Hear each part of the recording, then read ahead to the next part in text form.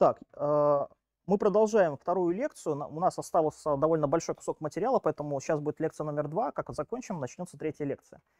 Э, Насколько я помню, мы в прошлый раз остановились э, на определении направления протекания химической реакции в соответствии с изотермой Ван Гофа. Я не помню, написал, обозвал я ее или нет. Ну, давайте ее заново напишем. Значит, у нас появился, появилась такая величина, как дельта G, которая есть производная по определению, есть производная э, потенциала гипса системы по химической переменной, то есть по превышению количества элементарных актов превращения по направлению реакции, то есть в том виде, в котором она записана слева направо, э, над количеством элементарных актов против направления, то есть справа налево. Э, ну, понятно, при постоянном температуре и давлении.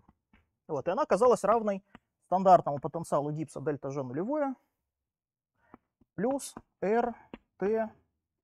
У нас там была константа Больцмана, я напомню. Если мы хотим считать на моль вещества, то константа Больцмана э, превращается в универсальную газовую постоянную. Ну, то есть левую правую часть просто домножаем на число Авогадро. А, Значит, плюс RT, логарифм, и здесь возникает от химических потенциалов а, комбинация. Значит, мольная доля компонента С в степени С, компонента D в степени D, компонента А в степени А и компонента B в степени B. То есть по знаку дельта G мы можем определять направление протекания химической реакции.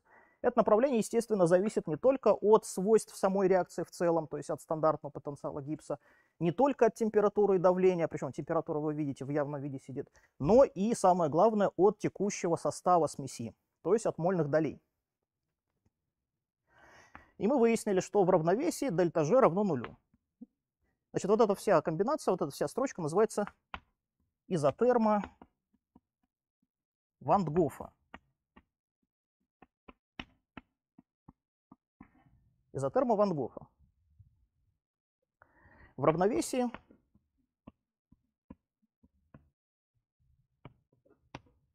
мы выяснили, что дельта G равно нулю. Это означает, что состав смеси в, этой, э, в этом состоянии, в состоянии химического равновесия, непроизвольный. Э, Он определяется стандартным потенциалом гипса и температурой. То есть э, равновесные мольные доли удовлетворяют соотношению. Значит, давайте обозначим. Ну, давайте сначала перепишем. Значит, xc равновесная в степени c, xd равновесная в степени d, xa равновесная в степени a, xb равновесная в степени b. Э, Равновесие, ра- равновесность параметра я обозначаю индексом e от слова эквилибриум, равновесием. Это комбинация э, давайте ее обозначим буквой К, называется константа равновесия. Она вам знакома э, еще с первого курса, а может еще со школы. Э, Называется константа равновесия. Она, естественно, зависит от тех же самых параметров, которые у нас фигурировали в изотерме Ван Гофа. То есть это температура, как минимум, здесь, ну и вообще говоря, давление, потому что стандартные значения потенциала гипса зависят от давления. Т и П. Вот. И это равно, соответственно, e в степени минус дельта g стандартная, деленное на rt. Ну или другими словами, дельта g стандартная равно минус логарифм k. Сразу обращаю внимание, э, иногда, довольно даже часто, э, в том числе и в учебниках даже, особенно в школьных, потому что там не особо не следят за нюансами, э, опускают вот этот вот индекс нолик, вот здесь вот, и пишут просто дельта G равно минус RT LNK. Я хочу вас предостеречь от такой записи, это категорически неверная запись, потому что дельта G и дельта G0 это абсолютно, вообще говоря, разные величины, они берутся в разных состояниях. Дельта G нулевое это в стандартном состоянии, а дельта G, ну, в каком-то текущем. Дельта G может быть разных знаков, э, определяется составом смеси. Дельта G0 это справочная табличная величина и от текущего состава, вообще говоря, не зависит. Определяется только выбранным э, стандартным состоянием. Так. Э, Вот мы назвали константу равновесия. Значит, это мы э, определили фактически для идеально разбавленных либо совершенных растворов. Значит, это у нас для идеально разбавленных либо совершенных растворов. Мы помним, что если у нас э, раствор э, предельно разбавленный, причем наблюдается асимметрия по выбору стандартного состояния растворителя растворенного вещества, мы такой раствор называли идеальным, и тогда вместо мольных долей мы можем писать малярные концентрации. Поэтому на практике, поскольку на практике обычно имеют дело именно с такими растворами, и э, справочные э, стандартные э, величины табулированы именно в таких предположениях, э, на практике применяют константу равновесия, выраженную через малярные концентрации. Ну, давайте ее на всякий случай напишем. Э, чтобы их различать, на самом деле они не одинаковы, конечно. Давайте вот эту К' назовем, чтобы они были, вообще говоря, различны. Она тоже зависит от температуры и давления. А, значит, это будет то же, самое, э, то же самая комбинация, только вместо мольных долей у нас будет фигурировать малярная концентрация. Значит, малярная концентрация С равновесная в степени С, D равновесная в степени D, А равновесная в степени А и B равновесная в степени B. Связь со стандартным потенциалом гипса такая же, я не буду ее переписывать. Так, это то, что у нас осталось вот от э, пункта, который был на прошлой лекции. Значит, следующий пункт, э, я не помню, у нас это окончание этого пункта, этот пункт был какой по номеру? Четвертый, по-моему, да? Пятый? У меня шестой. Четвертый, значит, следующий будет пятый. Давайте пятый пункт. Давайте сюда. Следующий пункт у нас это условия равновесия. Условия равновесия. Вот я уже говорил такое прилагательное, как химическое равновесие, да, химическое равновесие. Есть на самом деле еще и другие равновесия, другие виды равновесия. Ну, давайте их рассмотрим. Их будет всего три штуки, и все их мы будем использовать через лекцию, когда будем рассматривать э, равновесные системы э, с двумя компонентами. Значит, условия равновесия. Э, первое условие равновесия – это будет условие термическое. Давайте так напишем.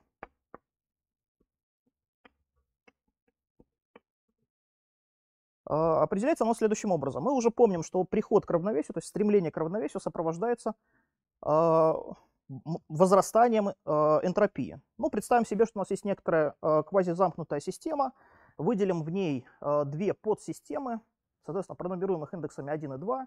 Можем сказать, что у нас ds по dt, где s это суммарная энтропия всей системы, она в процессе должна не убывать. Я помню, что у меня энтропия является экстенсивной величиной, поэтому энтропия равна сумме энтропий каждой из подсистем.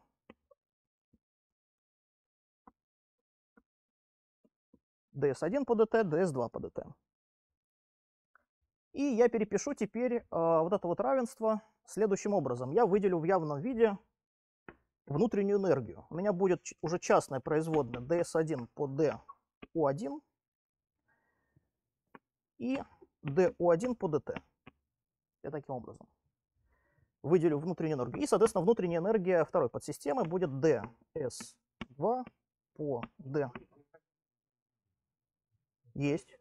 Ну, он слишком близко, да, наверное, незаметно. Есть он. ds2 по du2, du2 по dt. Поскольку у меня по построению э, мои моя система исходная, она квазизамкнутая, это означает, что э, перетоки энергии возможны только между двумя этими подсистемами, первой и второй. Это значит, что суммарная энергия сохраняется, как мы помним из первого начала термодинамики, а значит du2 по dt равно минус du1 по dt. То есть сколько одна система потеряла в единицу времени, столько вторая приобрела. И наоборот. Поэтому я du1 по dt могу вынести за скобку, меня получится ds1 по du1 минус ds2 по d. И здесь я могу снова заменить, э, ну, хотя ладно, пусть остается du2. Нам главное, чтобы минус был. И остается du1 по dt. И это должно быть больше нуля. Больше либо равно, э, причем равенство достигается в равновесии. Вспоминая первое начало термодинамики, объединенно первое и второе точнее, du равно t ds минус pdv, я вижу, что э, ds будет равно du деленное на t плюс там слагаемое с dv. При постоянном объеме у меня получается ds по du есть не что иное, как единица на t. Ну или du по ds равно просто t. Я переворачиваю эту дробь. Это означает, что вот здесь я могу заменить эту производную на единицу на Т1, то есть температуру первой подсистемы, а эту производную единицу на Т2, температуру второй подсистемы. И что получается? Получается, что если у меня два варианта есть, давайте А и Б, если у меня Т1 больше, чем Т2, первая система у меня, первая подсистема у меня более нагрета.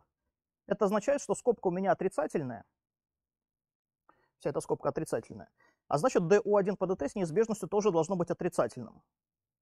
То есть более нагретая подсистема должна охлаждаться. DU1 по dt меньше равно нулю, как следствие. Следовательно, охлаждается более нагретая. Ну и симметричная противоположная ситуация, если Т1 меньше, чем Т2, то, ну, аналогично, DU1 по dt больше равно нуля. То есть охлаждается более нагретая подсистема, а нагревается а, менее нагретая подсистема. Ну, кажется таким очевидным, на самом деле вот мы это дело обосновали при помощи первого-второго начала термодинамики. А, в равновесии должно соблюдаться равенство нулю, а значит в равновесии, это будет случай В, он тут немножко не поместился, в конец его напишу. В равновесии Т1 равно Т2. То есть, когда у нас ds равно нулю, ну или ds по dt равно нулю. Энтропия достигла своего максимума. А, именно поэтому условие равновесия это термическое, да, то есть равенство температур.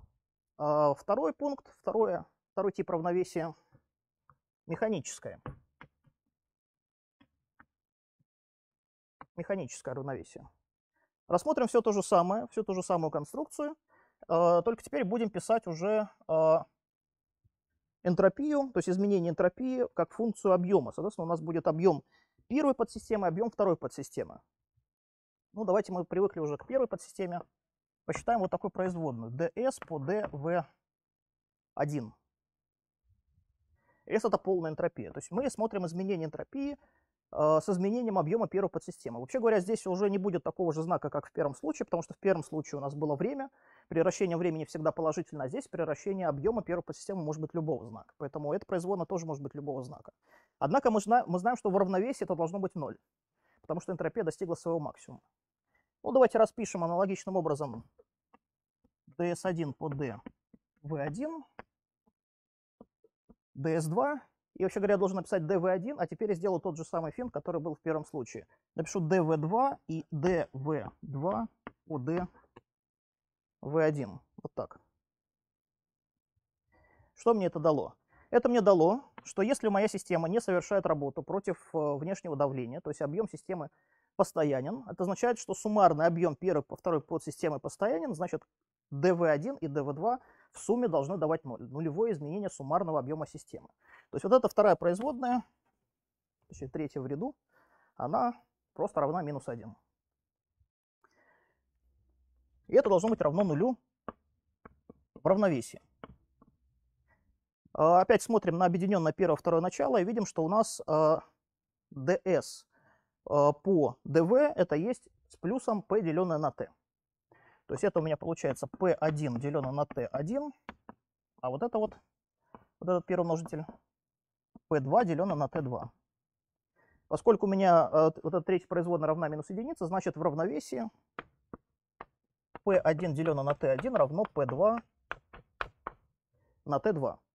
Но поскольку я уже выяснил, что в, при наступлении термического равновесия э, соблюдается равенство температур, э, значит для механического равновесия будет равенство давлений. Ну, это логично, потому что если бы у нас э, э были неравны давления первой системы на вторую и второй на первую, то граница между ними просто механически куда-то перемещалась бы, да, в соответствии с силой, которая к ней приложена. А если есть перемещение границы между двумя подсистемами, о каком равновесии можно говорить? Да? Там какой-то процесс происходит. Никакого равновесия тогда бы не было. Вот, это механическое равновесие, равенство давлений. Ну, наконец, третья ситуация, для нас самая важная, это химическое равновесие.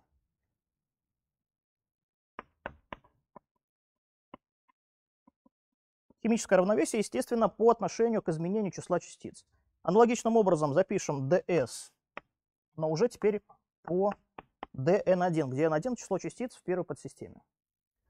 Действуя аналогично предыдущему случаю, получаем ds1 по d n1, ds2 по dn2, dn2 по d n1.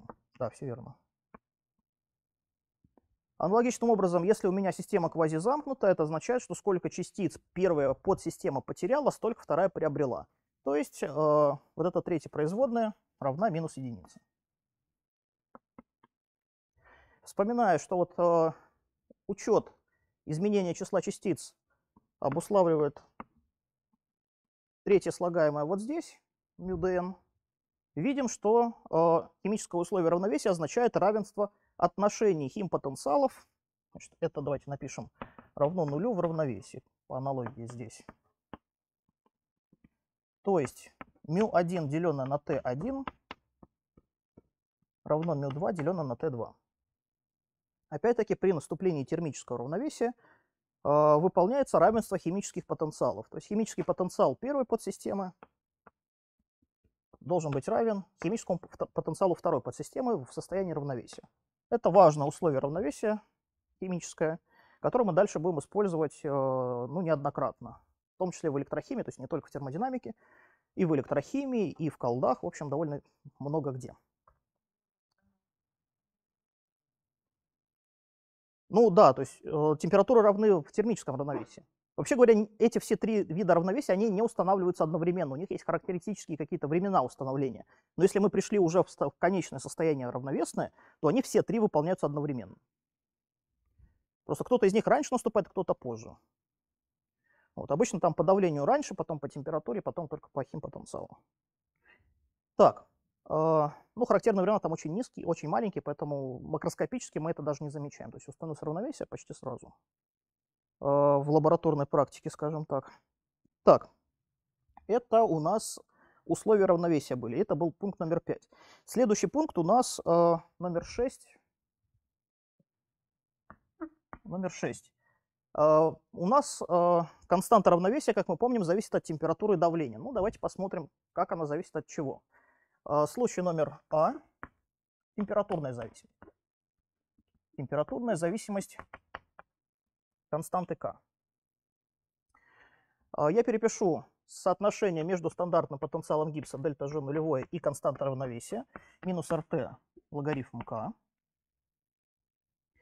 И я сразу запишу э, соотношение гипса Гельмгольца э, для потенциала гипса, для связи потенциала гипса и энтальпии через температуру. Мы помним, что у нас h равно минус t квадрат d по dt от g деленное на t.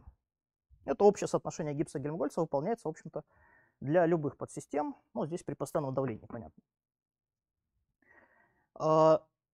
видим, что если у нас, во-первых, мы можем применить вот это соотношение гипса-гельмгольца к стандартным состояниям, а значит мы можем спокойно сюда нолики дописать.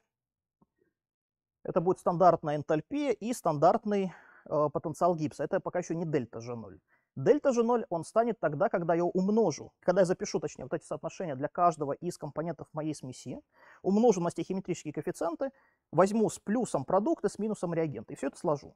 Поскольку у меня в левой части, очевидно, тут появится линейная комбинация дельта H0, стандартная. Температура, она как бы меняется, она, ее можно будет вынести за скобку. А, знак производной тоже можно вынести за скобку, мы тут не имеем дела ни с какими разрывными функциями и так далее. И единицу на t, опять-таки, тоже можно вынести за скобку. Что это означает? Это означает, что в числителе у меня появится просто дельта g нулевое. Дельта G нулевая. Но здесь можно уже не писать вот это постоянное давление. Понятно, что выбор стандартных условий уже зафиксировал нам давление. То есть это как бы тавтология получается. Нолик и P постоянная. Так, э, вот такое соотношение между стандартным потенциалом гипса э, какой-то реакции и э, стандартным, стандартной энтальпией этой реакции. Теперь мы сюда можем подставить дельта G0 через константу равновесия и выяснить температурную зависимость. Давайте, значит, у нас получится минус t квадрат d по dt от а, минус r t ln k. Температура под знаком дифференциала сокращается. Минус и минус даст мне плюс. И получается следующее уравнение. d логарифм константы по dt при постоянном давлении равно э, дельта h стандартная на r t квадрат. Вот такое равенство. Называется это равенство уравнения Ван Гофа. Не путать с изотермой, не путать с законом и с правилом. Это все разные вещи. Значит, у нас уравнение Ван Гофа.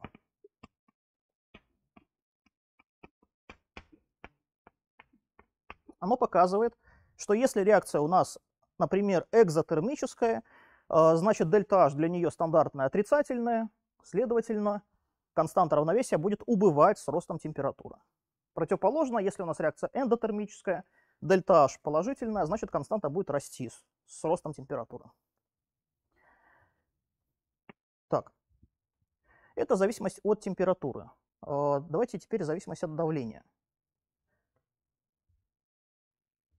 Это будет В, ой, Б, Б. Зависимость от давления для константы. Во-первых, сразу сделаю ремарку, э, константа равновесия газофазных реакций от давления, в общем-то, не зависит, ну, в силу их идеальности. Ну, или, по крайней мере, не зависит в той мере, в которой газы можно считать идеальными. Почему? Потому что, как вы вспомните, если вы откроете потенциал идеального газа, вы увидите, что там мы уже выбрали стандартное давление, равное одной атмосфере. И э, сами давления текущие парциальные компонентов, они э, объединятся вместе в константу равновесия. Ну, а стандартное давление, оно как, как выбрали, такое и есть. Поэтому от общего давления в смеси э, константа равновесия в газофазной реакции зависеть не будет. Э, не то же самое для реакции в растворах. Э, потому, что, э, потому что вот здесь у нас возникал стандартный потенциал гипса, который был выбран при, каком-то, при какой-то температуре, каком-то давлении, но в каком-то конкретном стандартном состоянии, да, которое мы назвали стандартным состоянием компонента раствора. А, как же выяснить, как же выяснить температурную зависимость? Ну, очевидно, надо взять, по аналогии с предыдущим пунктом, нужно взять производную по давлению. Давайте, давайте напишем сначала, сначала напишем дифференциал потенциала гипса, dg, я так еще место оставлю, потому что сейчас я сюда дельта g нулевое буду вносить, а, равно минус s dt плюс v dp. Так, не там места оставил немножко. То есть я написал просто дифференциал потенциала гипса. Вы сюда поближе. Так, теперь аналогичным образом я умножаю на э, стихиметрические коэффициенты, беря с плюсом продукты, с минусом реагенты. Здесь у меня опять линейная комбинация. Дифференциалы я могу выносить за скобку, поэтому я могу написать, что d дельта g нулевое равно минус дельта S нулевое, это стандартная энтропия реакции, плюс дельта V нулевое на dp. Вот такое равенство у меня есть. А, если я буду говорить, что у меня этот потенциал гипса не на одну молекулу а, и не для системы, а в расчете на одну молекулу, то есть это парциальный удельный потенциал гипса, то есть фактически это химпотенциал тот самый. Да, помним, что у нас вот химическая переменная здесь есть. То это означает, что здесь у меня тоже удельная, стандартная удельная энтропия и стандартный удельный объем. Ну, его иногда так буквой В фигурной такой пишут маленькой. S пишут маленькая буква S, но на письме большую и маленькую букву S различить сложно, поэтому я не буду исправлять. Так, и, значит, можем написать, что у нас D, дельта G нулевое по dp, это есть не что иное, как дельта V. То есть из изменение стандартного малярного объема в реакции. А, вместо дельта G нулевое можем подставить константу равновесия. Значит, здесь у нас производная при постоянной температуре. А, дельта G у нас это минус RT ЛНК, значит, получается D по dp от минус RT логарифм константы. Минус RT можно вынести за скобку, остается D логарифм K по dp. Это есть с минусом дельта V на RT. То есть, в принципе, вообще говоря, константа равновесия реакции в растворах, она будет зависеть от давления. И такие опыты есть, которые измеряли зависимость ее от давления. Э, проводил их э, Брёнстед. Он выяснял, что на самом деле зависимость очень слабенькая, и это понятно почему. Э, у нас вот это вот изменение маляр, удельного, удельного маляр, изменения малярного объема, во-первых, сами малярные объемы компонентов малы по сравнению с теми же объемами, которые были бы, если бы мы испарили все, всю нашу смесь. То есть представим себе, что наша смесь представляет собой идеальный газ, и можем написать тогда уравнение состояния идеального газа. Это P на малярный объем равно RT. Так? Мы знаем, что у нас в, э, плотность растворов, она э, гораздо больше, чем плотность идеальных, ну, плотность газов просто, да, газовой фазы в обычных условиях, которые при одной атмосфере, да, в обычной лабораторной практике. Это означает, что малярный объем каждого из компонента, он, во-первых, гораздо меньше. То есть, во-первых, возьмем стандартное давление. Так, ну, P0 это одна атмосфера. Нолики немножко антисимметрично получились, но понятно, о чем речь. То есть, во-первых, у нас V0 э, для, для растворов, давайте так обозначим в явном виде, он гораздо меньше, чем RT, деленное на P0. Так, ладно, нолик раз начал снизу писать. Пусть будет снизу. То есть у нас малярный объем каждого из компонентов, во-первых, гораздо меньше, чем RT на P0, а во-вторых, дельта, то есть изменение этого малярного объема в процессе реакции в растворах, оно уж точно будет гораздо меньше. Поэтому если я вот, например, здесь в явном виде P0 выделю, здесь P0 и здесь P0, P0 одна атмосфера, то вот это число P, дельта v0, P0 на дельта V0 деленное на RT, это число гораздо меньше единицы для реакции в, растворов, в растворах.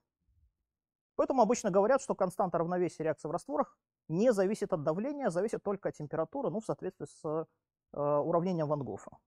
То есть почти не зависит, я так напишу. Хотя есть опыты, которые вот исследуют эту зависимость, она там какая-то очень маленькая, там в пятом знаке после запятой начинается изменение э, константы при увеличении давления там, до 20 атмосфер.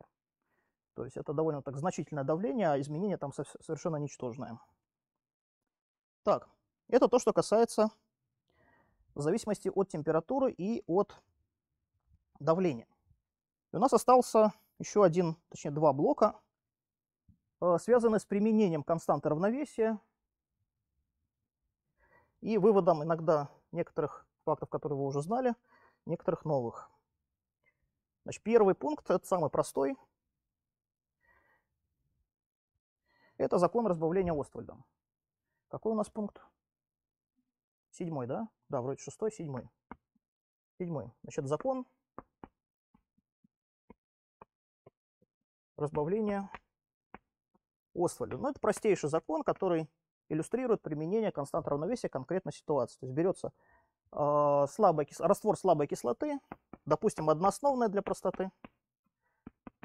Она у нас диссоциирует отщеплением протона. Протон там на самом деле гидратируется, но я э, не буду писать э, гидроксоний, понятно, что имеется в виду. Записывается константа равновесия для такой реакции, при этом мы сразу предполагаем, что раствор идеальный, то есть у нас специальным образом выбраны стандартные условия для растворителя и растворенных веществ. Растворенные вещества образуют идеально разбавленный раствор, растворитель у нас занимает почти весь объем системы, то есть для него стандартное состояние это с активностью равной единице. Тогда константу можно переписать через концентрации.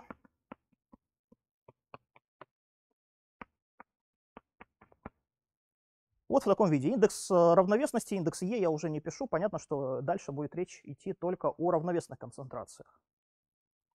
Если мы введем степень диссоциации как долю молекул кислоты, испытавших диссоциацию, то есть отщепление протона, Тогда у нас концентрация недиссоциировавшей кислоты будет равна единице минус альфа на С, где С это исходная концентрация кислоты в системе. А, концентрация диссоциатов, соответственно, альфа-С и альфа-С. Они диссоциируют один к одному. А, переписывая тогда константу равновесия, у нас получается следующее. Альфа квадрат С деленное на единицу минус альфа. Это у вас было на первом курсе. И, по-моему, даже вы рисовали график зависимости степени диссоциации от концентрации альфа от С. Можно проследить, что если у нас С стремится к нулю, то альфа будет примерно равно единица Значит, во-первых, если c к нулю, понятно, что у нас числитель стремится к нулю, а значит знаменатель тоже должен стремиться к нулю. Значит, альфа стремится к единице. То есть альфа слабо отличается от единицы. Э, альфа квадрат можно заменить на единицу. Получается, что альфа примерно единица минус c деленное на ka. Это такая линейная зависимость в начале. В конце, когда c велико, альфа у нас примерно будет равно. Понятно, что у нас c стремится к бесконечности, то есть числитель должен оставаться конечной величиной, значит альфа должно стремиться к нулю. По какому закону? По закону единица на корень из концентрации. Да? То есть корень из КА деленное на С. То здесь в конце гипербола с показателем минус 1 вторая. Ну, посередке между ними какой-то переходный период. Квадратное уравнение я решать не буду. Вот в идеале получается такая ситуация. Однако вы должны понимать, что на самом деле э, вот таком в простейшем виде закон разбавления Оствальда а, у него есть свои ограничения, естественно. Ограничения эти связаны в первую очередь с а, водными растворами слабых кислот и оснований. Это связано с тем, что а, при большом разведении у нас концентрация протонов, пришедших из диссоциации, может стать сравнима или даже меньше, чем количество протонов, пришедших из кислотной диссоциации воды. То есть сама вода вам будет давать больше протонов, чем то, что вы туда добавили в эту систему. А, диссоциация воды приводит к появлению дополнительных протонов, ну или гидроксилов, в случае, если у вас слабое основание. Это означает, что у вас двигается равновесие по вот этой реакции в левую, в левую сторону, то есть в сторону недиссоциирующих э, реагентов. Значит, степень диссоциации в целом должна быть ниже. Ну, насколько ниже я считать не буду, это семинарская задача. То есть реальный график, он проседает на самом деле. Реальный график проседает. Другие отклонения от закона разбавления Оствальда связаны с большими концентрациями. Это у нас следующая лекция, а именно неидеальные растворы. Ну, я сразу скажу, что там наблюдается такая ситуация, чтобы как бы все в одном э, месте было. Значит, это у нас случай, давайте А, разбавленные растворы. Растворы кислот, кислот или оснований – ну, понятно, слабых кислот или слабых оснований. Второй случай – это концентрированные растворы. Я без вывода просто скажу некий факт, который ну, мы разберем на следующей лекции, когда, вот, если, когда и если к ней успеем перейти. Я снова нарисую классического Оствальда. Вот такой график. А, в теории электролитической диссоциации, она носит название там Дебая Хюкеля, мы ее еще будем разбирать, можете пока не записывать. А, показано, что степень диссоциации сначала превышает Оствальдовскую, идеальную, а потом, наоборот, становится меньше. То есть график на самом деле вот такой. Это с учетом неидеальности раствора. Концентрированные растворы – это случай B. Концентрированные растворы, то есть не идеальные. Ну, если два эти случая объединить, то там получится какая-то результирующая картинка следующего вида. Альфа от С. Ну, рисуем, я уже пунктиром нарисую классического Оствальда. А, в результате получится что? В пределе маленьких концентраций у нас будет число меньше единицы, предельное. Ну, а здесь какое-то такое пересечение. Может быть пересечение в одной точке, может быть в двух точках, в зависимости от слабости сам, самого вещества, да, от слабости кислоты или основания. Если оно достаточно слабое, то просит по первому механизму будет очень сильный и может точек пересечения не быть вообще. А, если же она не очень слабая, средняя какая-то, средней силы или даже просто сильная, то точек будет две или даже только одна. Вот, то есть в общем виде вот так. Это общий вид. Общий вид отклонения от закона э, разбавления Оствальда. А? Ну да, я буду говорить только про кислоты, потому что для оснований, в принципе, все абсолютно симметрично. Да? Как переходить от кислот к основанию, понятно. Просто заменяем ПКА на ПКБ. А, все утверждения остаются справедливыми и в том случае. Так, а, это то, что касается Оствальда. И у нас последний пункт из второй лекции. Это кислотно-основный протолиз и э, буферные растворы. Куда бы написать? Давайте вот это сотрем. Буферные растворы. Кислотно-основные протолисы и буферные растворы.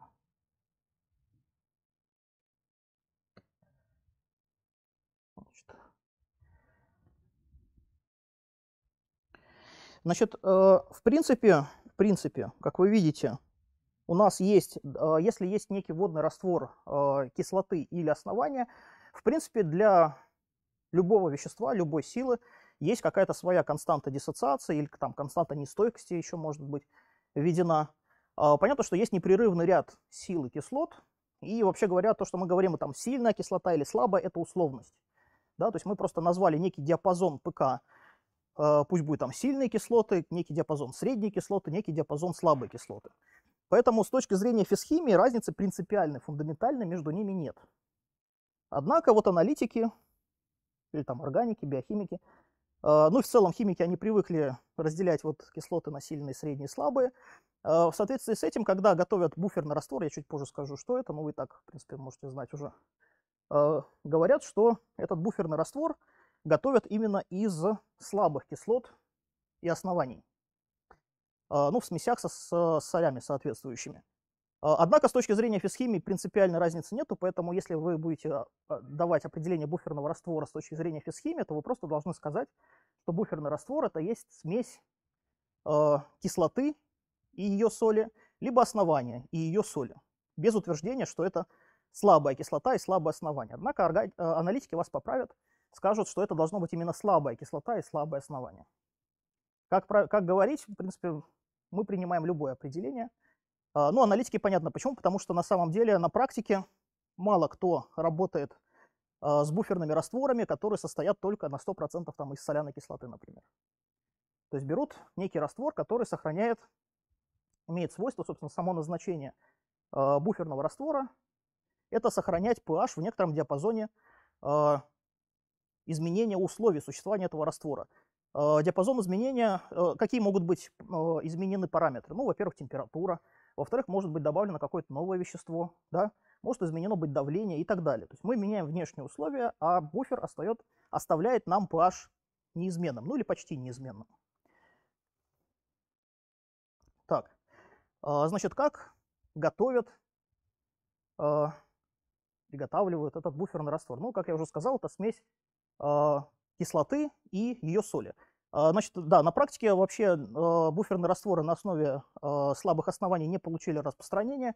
Почему? Потому что, как вы знаете, если переходить от кислот к основаниям, то вместо ПК мы должны писать константу гидролиза для диссоциации, да, как бы для якобы диссоциации. Константа гидролиза. Константа гидролиза связана с константой кислотности через константу автопротолиза воды, которая, в свою очередь, сильно зависит от температуры. Потому что дельта H, я уже стер, дельта H воды это 56 килоджоуль на моль. То есть там коэффициент в уравнении Ван Гофа довольно значительный, а это означает, что буферный раствор, pH буферных растворов, приготовленных на основе слабых оснований, сильно зависит от температуры. Значит, они очень чувствительны к температурным условиям. Поэтому на практике они не получили распространения, делают в основном буферы на основе слабых кислот э, и их солей. Вот мы его и рассмотрим. Значит, это у нас пункт номер 8.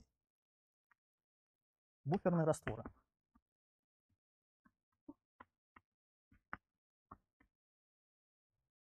Значит, ну, я имею в системе, ну, допустим, я буду рассматривать самый простой случай.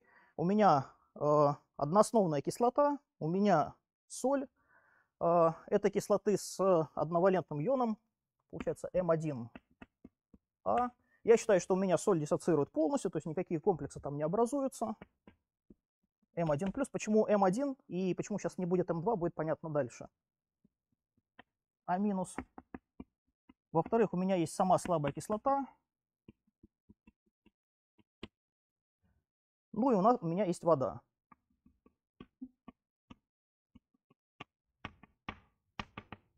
То есть у меня есть два. А. Да, я считаю, что у меня добавленная соль диссоциировала полностью и необратимо. Вот все диссоциировало и все. Это будет упрощать запись, но на самом деле вообще, в принципе, вот в учебниках химии, физической химии, вообще в 99% учебников солями называют именно такие соединения. Хотя есть исключения не полностью диссоцииру... диссоциирующие в водных растворах соли. А, значит, давайте здесь будет концентрация С1, здесь будет концентрация С2. Как нам описать эту систему? Ну, очевидно, записать равновесие. Да, здесь константа КВ. Очевидно, записать константы равновесия по тем равновесиям, которые реализованы, записать условия электронейтральности, записать мат-баланс. А, значит, равновесие у нас 2. Здесь у нас КА. Значит, КА у нас будет равно H плюс на А минус на HA, КВ H плюс на OH минус.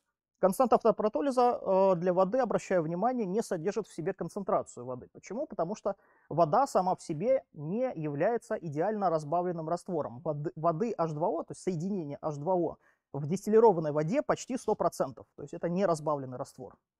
Поэтому, когда мы пишем вот эту константу, мы помним про асимметрию условий, э, асимметрию стандартных условий выбранных для растворителя и растворенного вещества. Для растворителя мы принимаем такие стандартные условия, чтобы активность была равна единице, поэтому здесь мы делим на единицу как бы. Ну а активность э, для растворенного вещества принимается равной э, концентрации, деленной на 1 моль на литр. Так, э, электронейтральность, мат-баланс. Значит, мат-баланс выглядит следующим образом. У нас полная концентрация наших кислотных остатков С1 плюс С2 и они существуют в двух видах, в диссоциированном и недиссоциированном. То есть это А минус плюс HA. И электронейтральность. У нас э, суммарный заряд единицы объема раствора должен быть равен нулю. У нас все ионы однозарядные. Катионов два вида, анионов два вида. Значит, суммарная концентрация катионов должна быть равна суммарной концентрации анионов.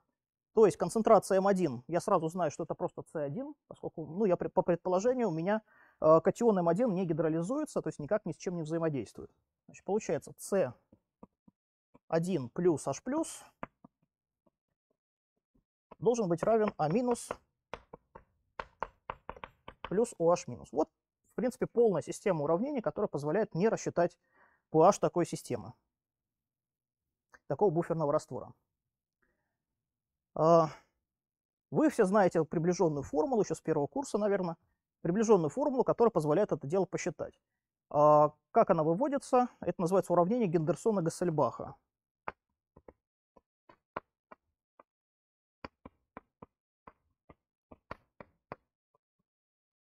Гассельбаха. А, выводится оно очень простым способом. Самый короткий способ следующий. А, предполагаем, что степень диссоциации по кислоте гораздо меньше единицы. То есть кислота у нас достаточно слабая, либо ее достаточно много. На практике, собственно, буферный раствор делают как раз высокой концентрацией. Вот, это означает, что мы можем воспользоваться только одним уравнением здесь, вот этим. Просто сказать, что у меня КА приближенно равно H плюс Концентрация тогда, если у меня степень диссоциации мала, это означает, что кислотные остатки у меня возникают в системе только от соли. А соли у меня С1. Я пишу сюда С1. Ну, а кислота у меня почти не диссоциирована, значит, концентрация не диссоциировавшей формы почти С2. И все. Получается, что pH, pH равен, примерно равен ПК плюс десятичный логарифм отношение концентрации соли к концентрации кислоты. кислоты. Это уравнение Гендерсона-Гассельбаха. А, Какие у него границы применимости? Да? Конечно же, нам нужно знать границы применимости, когда можно применять в таком виде, оценивать pH буферного раствора, в каком, когда нельзя.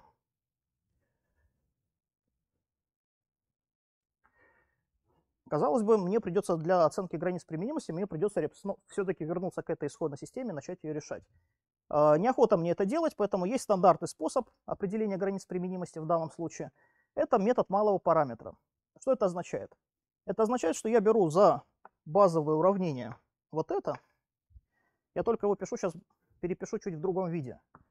T1H плюс делено на C2KA. А, в рамках вот нулевого приближения это должно быть равно единице. А я теперь хочу найти отклонение от уравнения Гендерсона-Гассельбаха.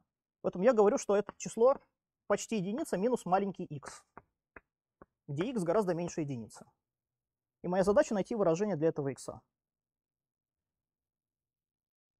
Я не буду проводить все выкладки, а, просто так скажу, какой здесь сценарий. Значит, во-первых, исключаем, поскольку нам нужно будет подставлять в последнее уравнение концентрацию кислотных остатков, я буду ее исключать. Я найду концентрацию кислотных остатков из третьей строки, а для того, чтобы исключить концентрацию недиссоциированной кислоты, я ее выражу при помощи первой строчки. Ну, вторая строчка, понятно, нужна только для получения концентрации гидроксилов. А, после всех математических преобразований и помня, что x гораздо меньше единицы, для x получается следующее выражение. Я его перепишу из шпаргалки. Он там довольно громоздкое, но из него будет легко видно быть граница применимости.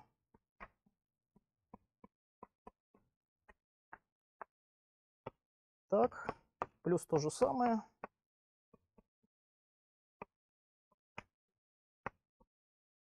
Плюс c1 квадрат КА c1 плюс c2. Вот такая штука. Значит, а, какие здесь получаются границы применимости? Значит, во-первых, мы а, видим, что если мы хотим приготовить некий буферный раствор с заданным pH, нам нужно по-хорошему взять какое-то фиксированное соотношение концентрации соли и кислоты. А.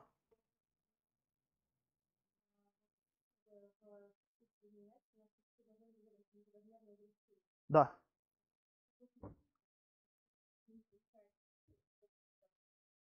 Чего? Нет, все нормально. У нас, мы же помним, что мы э, выбрали стандартные условия таким образом, что у нас константы равновесия стали размерными. Да? То есть они как бы сами по себе безразмерны, умножились на концентрацию 1 моль на литр в нужной степени. То есть у меня КВ имеет размерность моль на литр в квадрате, а К имеет размерность моль на литр. И все нормально получается. Понятно, да? То есть там надо просто держать в голове, что там всегда эта константа умноженная на 1 моль на литр в нужной степени. В силу выбора стандартных условий растворенного вещества.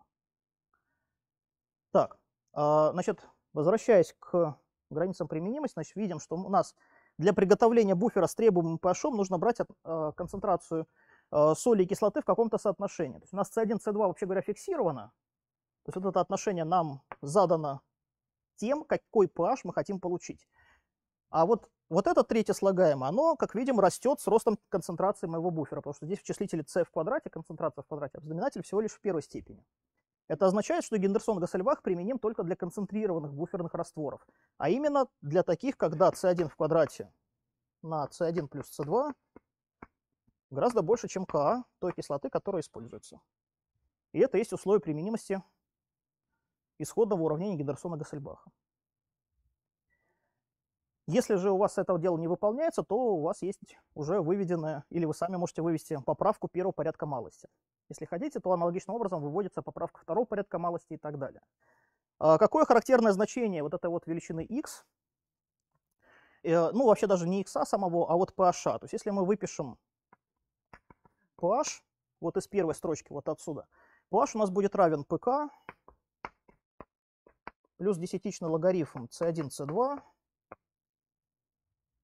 минус десятичный логарифм единица минус x.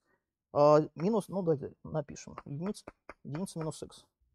Десятичный логарифм я могу расписать как отношение натуральных логарифмов единица минус x и натурального логарифма 10.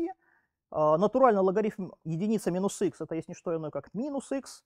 Поэтому вся вот эта добавка это есть не что иное, как с плюсом, с плюсом x деленное на натуральный логарифм 10. То есть фактически x если его умножить на натуральный логарифм 10, это есть поправка по pH. То есть мы видим, что уравнение Гедерсона-Гассельбаха нам занижает наш pH. Занижает нашу оценку для pH. Ну, обычно мы имеем дело с буферными растворами, в которых ПК примерно четверка. Концентрация, характерная концентрация, например, там, сантимолярный какой-нибудь раствор, то есть С примерно 0,01 моль на литр, что, что С1, что С2. Если подставить, посчитать этот x, то окажется, что дельта pH, то есть ошибка по pH, всего лишь во втором знаке. То есть для таких э, распространенных условий нам не нужно делать какие-то малярные растворы, очень концентрированные. Даже в таком разбавленном достаточно состоянии, с антималярный раствор, у нас ошибка по pH уже во втором знаке. То есть это нам хорошо. У нас pH-метры на самом деле меряют только до первого знака точностью. Потому что все остальное съедает колебания температуры. Они обычно не очень четко фиксированы. Вот, поэтому уравнение Гендерсона Гассельбаха, в принципе, можно пользоваться, не забывая только, что э, должно выполняться это условие применимости. Так, это то, что касается Гендерсона Гассельбаха. И последний, последний пункт. Последний пункт – это то самое свойство сохранять pH. Свойство сохранять pH для буферных растворов. Как его можно количественно посчитать? Для этого вводят специальную величину, которая называется буферной емкостью. Что это такое? Для нее, опять-таки, есть несколько определений. Э, в целом буферная емкость характеризует изменение pH при изменении концентрации добавленного э, э, сильного основания, то есть щелочи, либо сильной кислоты, если у вас противоположно буфер э, приготовлен на основе э, слабого основания. То есть вы к вашему буферу, вот, например, в нашем случае, да, на, э, соль и слабая кислота, мы будем добавлять щелочь в какой-то концентрации. Поэтому сюда, вообще говоря, я не буду переписывать. Я должен буду написать еще одну реакцию. И теперь понятно, почему там было М1, М2OH. М2 плюс плюс OH минус. То есть у меня добавится системе еще, одна, э, еще один компонент, пусть его концентрация будет С. И вот буферная емкость по определению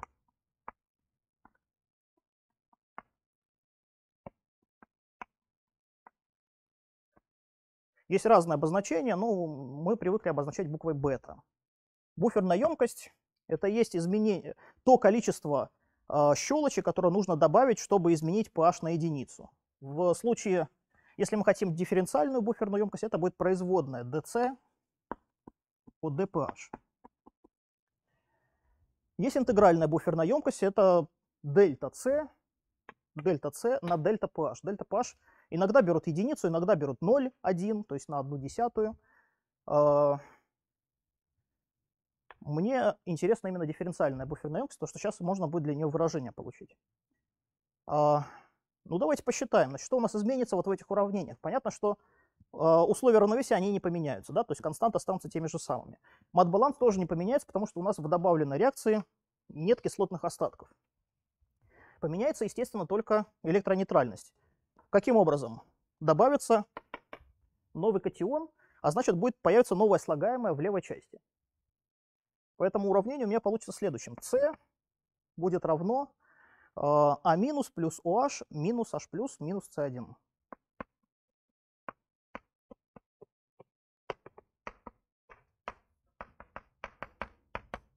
Минус C1.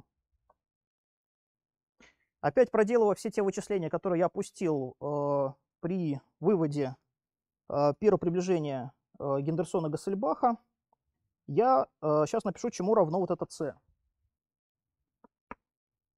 перепишу через шпарга, э, со шпаргалки. Значит, получится КВ деленное на концентрацию H плюсов минус концентрация H плюсов плюс вот такая дробь. КА на С2 минус H плюс на С1 деленное на КА плюс H плюс. Вот такая величина С получилась. Если я теперь ее продифференцирую по pH, я получу буферную емкость. Значит, pH мы помним, что это минус десятичный логарифм. Ну, поскольку мы еще не имеем дела с э, реальными растворами, с неидеальными, pH это просто минус десятичный логарифм концентрации. В общем случае это все-таки активность. Активность это следующая лекция. Значит, dc по dph я могу переписать следующим образом. Это минус натуральный логарифм 10 на концентрацию h плюсов dc по d концентрация h плюсов. То есть я просто pH расписал по определению и подставил в дифференциал. Дифференциал от логарифма концентрации, это есть дифференциал концентрации, деленный на саму концентрацию. Чего? А, ну, давайте поподробнее. Так. А, dc, d минус десятичный логарифм. Десятичный логарифм расписываю как натуральный логарифм концентрации h плюсов, деленный на натуральный логарифм 10.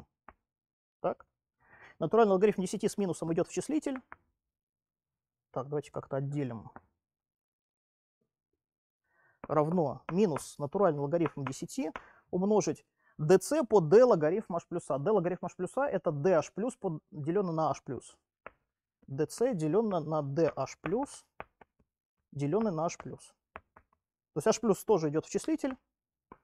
Получается минус логарифм 10 умноженный на концентрацию h и умноженный на dc по d концентрация h. Понятно? Ну, думаю, понятно, тут ничего сложного нету. А, дифференцируем это дело по концентрации H. А, я опять перепишу со шпаргалки, опуская математические выкладки. Получается следующая штука. Получается, что бета равно логарифм 10 на скобку. На самом деле это лучше даже на новой доске написать. Сейчас мы под этим уравнением сейчас картинки будем рисовать.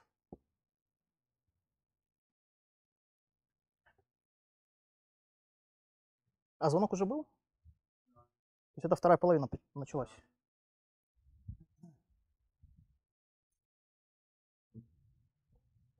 Это все вторая лекция продолжается.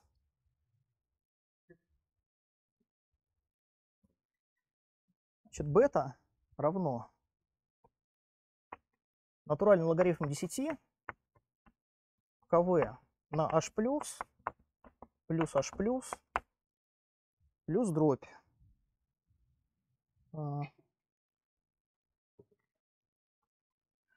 Здесь получается дробь следующая. А, КА, С1 плюс С2, H плюс, деленное на H плюс плюс К квадрате. Вот такая штука получилась. То есть видим, что буферная емкость зависит от pH. И, естественно, возникает вопрос, а при каких pH эта буферная емкость максимальна? Максимальная буферная емкость это означает, что если мы даже много добавляем концентрацию до, вот этого э, щелочи, то pH у нас будет меняться незначительно. То есть нам важна ситуация, когда буферная емкость достигает своего максимума. Давайте порисуем графики зависимости буферной емкости от H здесь видно два слагаемых. Первое слагаемое, естественно, от свойств э, самого буфера не зависит. Здесь только свойства растворителя. График вот этой вот первых двух слагаемых по горизонтали концентрация H. Ну, узнаем какой. Это вот такая вот галочка. Имеет минимум. Почему? Потому что у нас складывается монотонно убывающая слагаемая и монотонно возрастающая. Получается вот такая галочка. График же последнего слагаемого, там, где, собственно, содержатся все свойства буфера. Я не подписываю вертикальные линии, понятно, что это это слагаемо и это слагаемо. То есть э, фигурные скобки это есть подпись к вертикальной оси. Здесь концентрация H плюсов. Понятно, что если концентрация H плюсов равна нулю, то мы начинаем с нуля. Если она достаточно велика, то мы заканчиваем тоже в нуле. То есть это некий вот такой вот максимум. Естественно, если мы сложим эти два графика, то мы получим... Вот я вот этот модифицирую, вы можете третий у себя внизу там нарисовать. Э, вот если я наложу эти два слагаемых и нарисую сумму, у меня сумма получится следующая. Вот такая штука. И поскольку у меня по горизонтали h плюсы, а я хочу нарисовать зависимость от pH, pH это минус десятичный логарифм, в принципе монотонное преобразование, а, график на самом деле будет выглядеть точно так же. Зря я с центральной доски стираю, ну ладно. Значит, я сейчас нарисую суммарный график еще раз и в правильных координатах. Значит, по вертикали я буду откладывать бету, буферную емкость.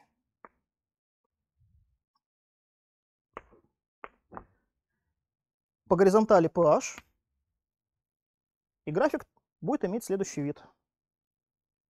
Вот такой. Вот эта правая ветка, она э, будет начи начинать рост в очень больших pH, которые на самом деле никто на практике не получает это там за 15 где-то начнется, это правая ветка. Поэтому здесь на самом деле есть вот маленький минимум и есть высокий максимум.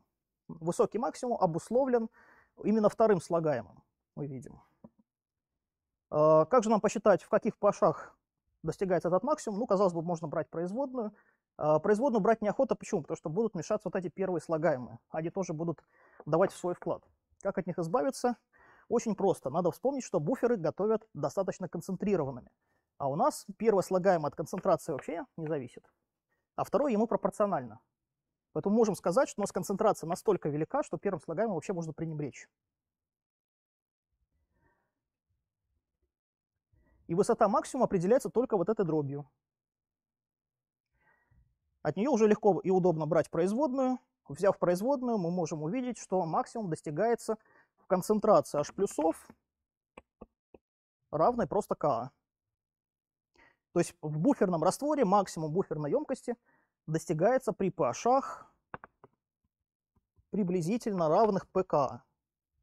Приблизительно ровно в той мере, в которой у вас буфер является концентрированным.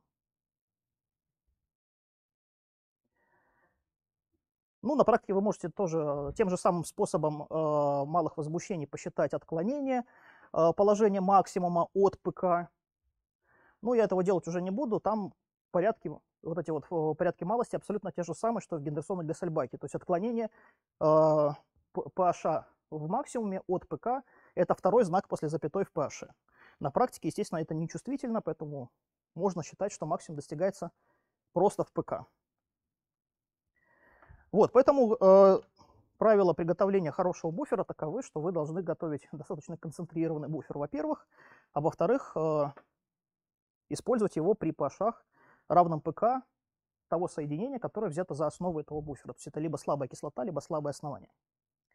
Так, это все, что касается э, буферных растворов. Э, более подробно они будут рассмотрены на э, семинарах и на практикуме.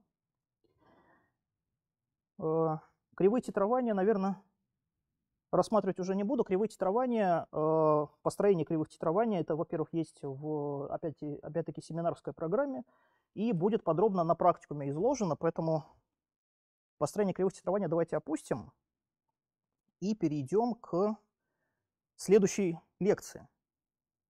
Так, график нарисовали, да, я могу стирать? Значит, следующая лекция, это будет лекция номер три реальные растворы. Реальные в смысле не идеальные, а не в смысле четкие.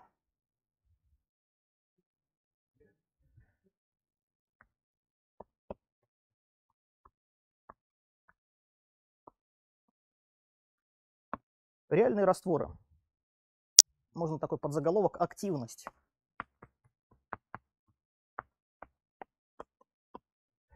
Значит, я напомню начало предыдущей лекции. Э, мы определяли идеальными растворами э, такие растворы, в которых, э, там было три определения, да, ну, в целом, в которых можно пренебречь взаимодействием молекул растворенного вещества друг с другом. Они полностью гидратированы, максимально взаимодействуют с растворителем, а вот друг с другом вообще не взаимодействуют. И мы показали, что вот методами там, стат термодинамики, что это эквивалентно свойству зависимости химического потенциала от мольной доли компонента в растворе то для идеальных растворов у нас им потенциал зависел известным образом. Это было μ0 плюс РТ, логарифм, мольная доля компонента в растворе. Естественно, а, с точки зрения вот физического определения реальным раствором, то есть не идеальным раствором, а, будет правильно называть растворы, в которых нельзя пренебречь взаимодействием молекул растворенного вещества друг с другом. Точки зрения физико-химического определения, э, реальным раствором называются те растворы, в которых вот это равенство не выполняется. А какое выполняется? Тут надо вспомнить физический смысл э, химпотенциала. Значит, химпотенциал, как вы помните, это та энергия, которую приобретает система при добавлении в нее одной частицы данного типа. Если у нас частицы не взаимодействуют друг с другом, то добавление такой частица в эту систему, будет приводить к увеличению энергии вот настолько. Да, то есть на каждую частицу будет система получать ровно столько энергии. Если же у нас частицы взаимодействуют друг с другом, то, естественно, система будет получать либо больше энергии, либо меньше относительно того, что она получала в идеальном случае. Поэтому мы формально можем сохранить здесь равенство, но нужно добавить слагаемое, описывающее вот эту вот невязку, да, добавку по энергии, которая возникает из-за взаимодействия. Я ее обозначу дельта мю. Дельта мю. Дельта мю зависит от всего. От температуры, давления, концентрации всех типов, причем частиц. От всего зависит. Это свойство взаимодействия. Да? То есть у нас определяется, величина этой добавки определяется взаимодействием частиц э, друг с другом. А, на практике никто не работает с вот этой дельтамю, добавочной энергией. Ее переписывают следующим образом. Ее переписывают как, по аналогии вот со вторым слагаемым, как RT логарифм новой функции, то есть дельтамю была старая функция, мы ее можем перечислить в новую функцию, которая будет обозначаться буквой гамма. Она уже имеет свое специальное название, и она тоже зависит только ну, там, от P, от, от, от давления, температуры, концентрации, от всего тоже зависит. Зачем так делают? Смотрите, как тут все получается. Стандартный химпотенциал. Я РТ могу вынести за скобку, логарифм могу вынести за скобку. У меня внутри в скобке остается гамма на x. Вот эту гамму на x и называют активностью. Активность. А коэффициент гамма, он безразмерный по построению, называют коэффициентом активности. Гамма – коэффициент активности. То есть можно выписать следующее определение. Активность обозначается буквой А. Она по определению равна Е в степени импотенциал реального раствора минус стандартный химпотенциал, деленный на РТ. Коэффициент активности, соответственно, Е в степени химпотенциал реального раствора минус химпотенциал идеального раствора, мю идеальное, нестандартный, деленный на РТ. Это определение активности и коэффициента активности для идеально разбавленных растворов и либо совершенных растворов. Если мы помним, что мы можем, и на практике так и происходит, что мы выбираем стандартные условия а, асимметрично по отношению к растворителю растворенному веществу, у нас а, мольные доли превращаются в концентрации, поэтому на самом деле здесь возникает другой стандартный химпотенциал, и вместо x мы должны писать малярную концентрацию c. Тогда здесь возникнет не гамма x, а гамма c. Поэтому иногда активность определяют как e в степени. То есть определение то же самое, только здесь будет другое, стандарт, другой стандартный химпотенциал. И активность будет связана с коэффициентом активности через гамма c уже. Гамма c. И активность приобретет размерность. Она станет равной размерности концентрации, то есть моль на литр, например. А, мы будем работать с коэффициентом активности. Почему? Потому что помним, да, что вот выбор стандартных условий, что в идеально разбавленных или в совершенных, или просто в идеальных растворах, это просто перекидывание слагаемого отсюда сюда. Да, там было RT логарифм малярного объема растворителя эта, эта, эта операция никак не затрагивает добавочную энергию. То есть гамма, коэффициент активности, он имеет абсолютный смысл. Это есть величина, которая характеризует силу взаимодействия частиц растворенного вещества друг с другом. И не зависит от стандартных условий, от выбора стандартных условий. Поэтому мы будем сейчас вычислять именно коэффициент активности. Да.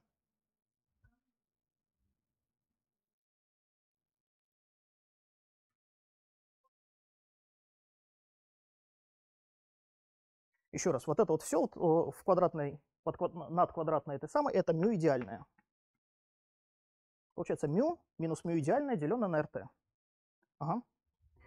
Так, вот мы будем вычислять коэффициенты активности именно. А как их переводить в активности, это уже вопрос выбора стандартных условий. Да? В зависимости от того, как вы их выбрали, так такая и будет активность.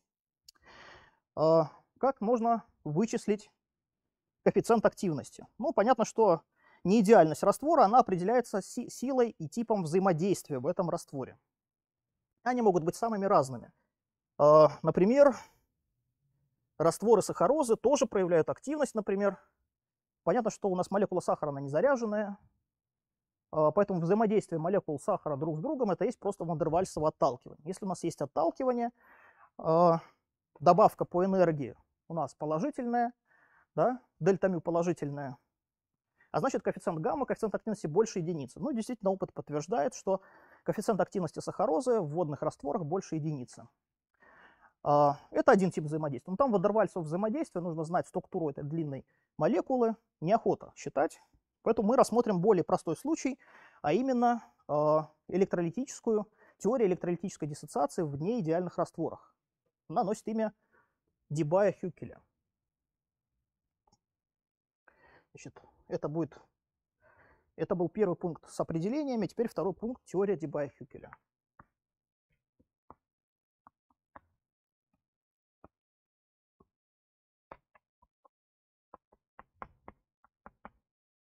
Теория Дебая-Хюкеля. Теория Дебая-Хюкеля рассматривает растворы, в которых вся неидеальность вызвана только электростатическим взаимодействием ионов друг с другом. То есть она рассматривает э, растворы электролитов, растворы, содержащие заряженные частицы, ионы. Э, ну, давайте посмотрим сначала в общем виде, как может зависеть коэффициент активности от концентрации этого раствора, от концентрации электролита. Э, случай номер А. Если у нас достаточно разбавленный раствор, а, допустим, мы возьмем какой-то катиончик, какой-то катиончик. Понятно, что другие катионы от него стремятся отойти подальше, потому что они отталкиваются по закону Кулона. А, а противоположно заряженные ионы, анионы, они стремятся к нему подойти поближе. То есть анионы будут группироваться вокруг этого катиона, Однако не будут, естественно, падать на него совсем с э, рекомбинацией этих двух ионов. А, почему? Потому что у нас возникнет равновесие. Вот я его с этой стороны нарисую. С одной стороны, этот анион притягивается к центральному катиону, с другой стороны, по мере того, как сжимает вот это кольцо из анионов, возникает сильное отталкивание взаимное между анионами. И в некоторый момент эта вся система приходит в равновесие. А, когда система пришла в равновесие, вот это вот облако из противоионов вокруг данного иона, он может быть и как катионом, так и анионом сам по себе, а, называется ионной атмосферой.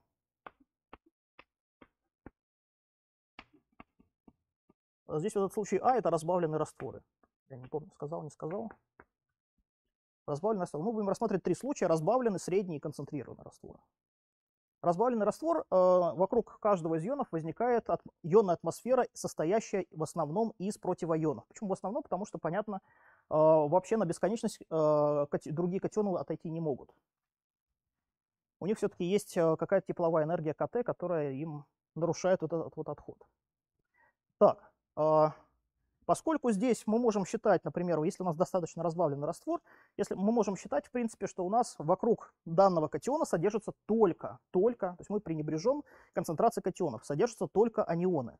Это означает, что сам этот катион испытывает притяжение со стороны окружающих его анионов. Если у нас притяжение, значит, преобладает притяжение, Притяжение, помним, что это из механики, что это отрицательная потенциальная энергия, а это означает, что добавка по энергии гипса, а значит и по химпотенциалу дельта мю, дельта мю, вызванная взаимодействием, а именно притяжением, она отрицательная. А значит гамма меньше единицы. Ну, логарифм гамма меньше нуля.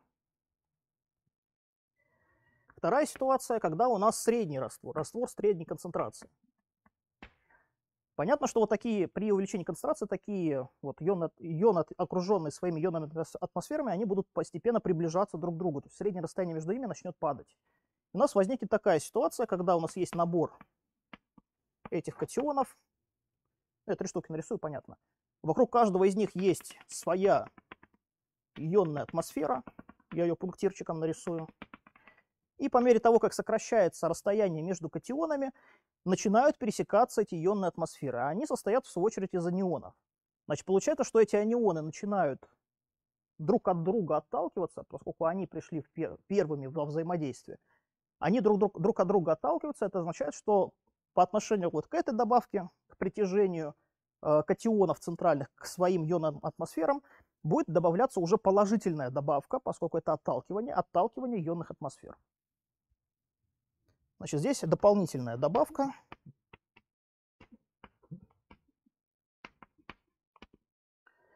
Э, отталкивание ионных атмосфер.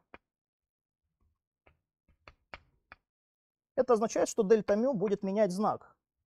По мере того, как сокращается это расстояние, у нас э, э, положительная добавка в конце концов перебьет отрицательную, поскольку отталкивание может расти неограниченно, а вот притяжение, вообще говоря, нет.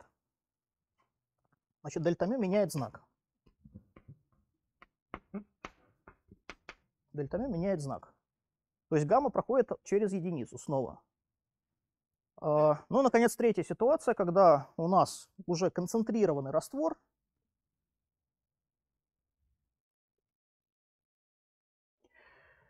Там уже ионные атмосферы пересекаются сильно, включается взаимодействие уже центральных катионов друг с другом, они начинают отталкиваться друг от друга, а значит добавка положительная еще больше возрастает. Это приводит к тому, э, концентрированный раствор. Это приводит к тому,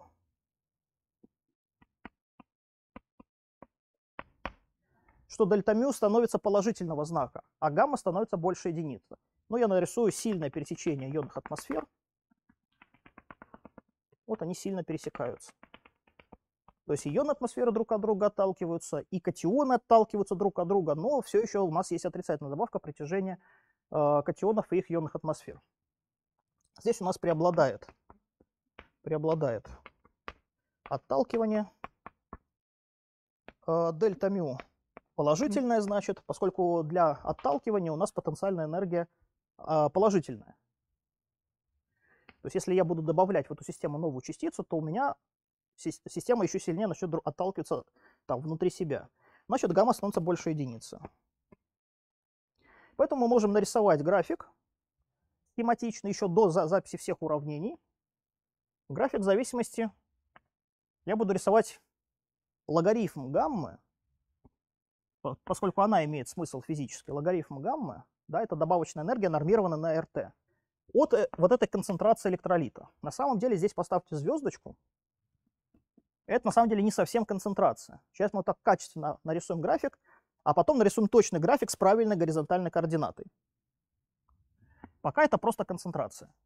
Стартуем мы э, из логарифма гаммы равным нулю. Это идеальный раствор, идеально разбавленный. Э, в начале, в низких концентрациях у нас логарифм гаммы отрицательный. Он стартует из нуля под каким-то наклоном. Потом начинает повышаться. Это средние растворы будут. И в конце, когда мы перейдем к концентрированным растворам, он начнет выйдет на рост. Причем, если у нас нет ограничений по растворимости, э, этот рост может привести даже к тому, что мы пересечем горизонтальную ось, и гамма станет больше единицы, а логарифм гамма станет больше нуля. То есть в растворах электролитов мы ожидаем именно такой результат. Именно такой результат в зависимости логарифма коэффициента активности от концентрации электролита. Э, теория Дебая-Хюкеля выделяет три области. Они называются первое, второе и третье приближение Дебая-Хюкеля. Первое приближение – начальная область, то есть разбавленные растворы. Второе приближение – это средние растворы, растворы средней концентрации. И третье приближение, если не выделять все последующие, это все остальное. Иногда выделяют отдельно третье приближение, четвертое, пятое, шестое и так далее. Ну, как получают они номера, станет ясно в дальнейшем. А, мы будем здесь называть третьим приближением все, что стоит вот с правой, в правой части здесь. То есть достаточно концентрированный раствор. А, какие здесь границы по концентрации? Да? А, где именно стоит проводить вот эти вот вертикальные пунктирные линии по приближениям? В абсолютном большинстве учебников даны сразу конкретные числа. Я их напишу на доске, а потом скажу, что это все неправда. 0,01 моль на литр, 0,1 моль на литр. Третье приближение уже там от 1 моль на литр и дальше. А теперь почему это неправда?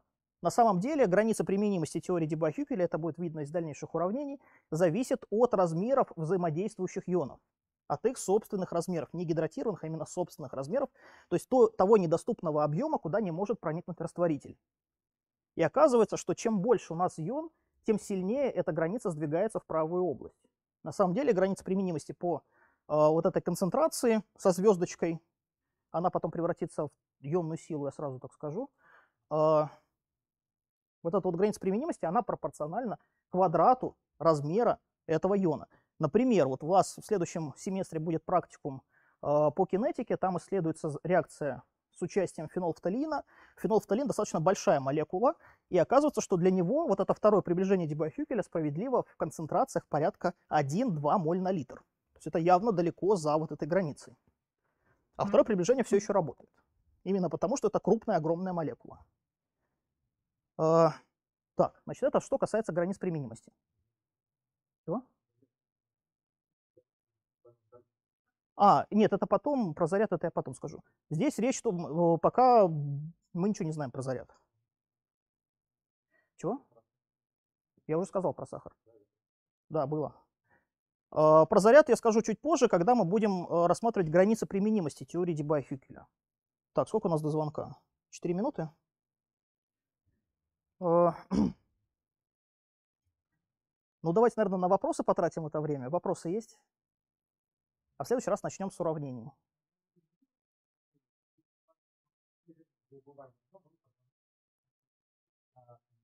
Вот это? Да, то есть э, вот эта вот, вот эта закономерность, мы сейчас ее опишем, вот формулой, вот эту вот штуку, она будет продолжаться не только до 0,1, но и до 1 моль на литр. То есть она далеко сюда будет. Для фенолфталина это огромная такая распластанная фиговина. Извините за выражение. То есть она вот туда пойдет. Ну, э, коэффициент активности фенолфталина больше единицы, насколько мне известно, не получали. То есть это должны быть такие страшно концентрированные растворы. Фенолфталин, он выпадает в осадок просто. А вот и нет. Вот. То есть там электростатика перевешивает Вандервальсово отталкивание. Да.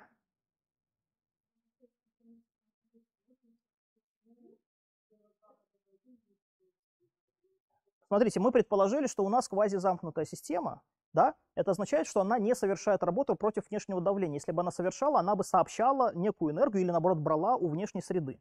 А такого не происходит. Значит, суммарный объем системы постоянен. То есть между ними, между двумя подсистемами сдвигается просто граница. Вот наша система, мы разделили на первую подсистему, вторую подсистему. У нас суммарный объем константа, а граница может меняться. У нас станет, например, вот такой. Да? То есть у нас э, граница сдвинулась влево, значит объем первой части уменьшился, а второй увеличился. Сумма константа V1 плюс V2 константа. То есть dv1 плюс dv2 равно нулю.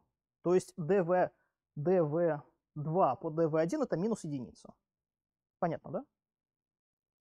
Так, вопрос еще есть? Да, давайте.